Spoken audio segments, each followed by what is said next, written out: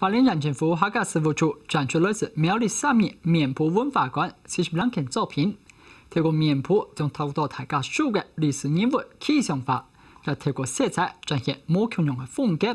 我对面部创作的后辈很有热照，透过每集变成传奇的大片故事。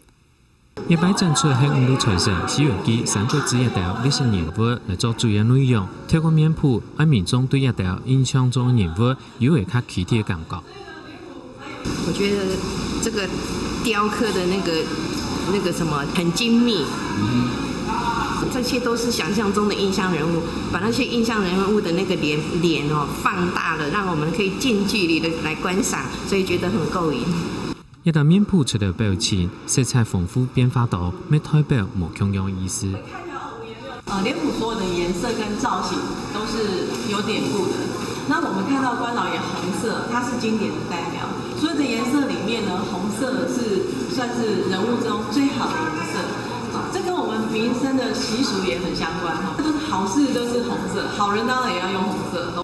一摆展出面部作品，系对苗栗三年面部文化馆来嘅。基本大系一间木雕工作室，同民国八十八年转型做木雕面部考察，大家都经成熟，故所全新去做，成立面部文化馆。沙头民国九十二年拄到三十危机，面部文化馆才是做模嗯，遇到诶突过几只难关，诶，条家较聪明，其实讲啊闲闲闲一 hand 到睇，跟住讲出来画好诶，画面画脸谱哈。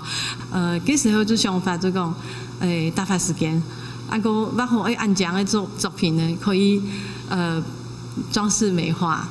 呃，虽然冇生意冇收入，嗰一千两张诶面谱，就系挨到嗰时候一家人。一笔一画，慢慢的画起来。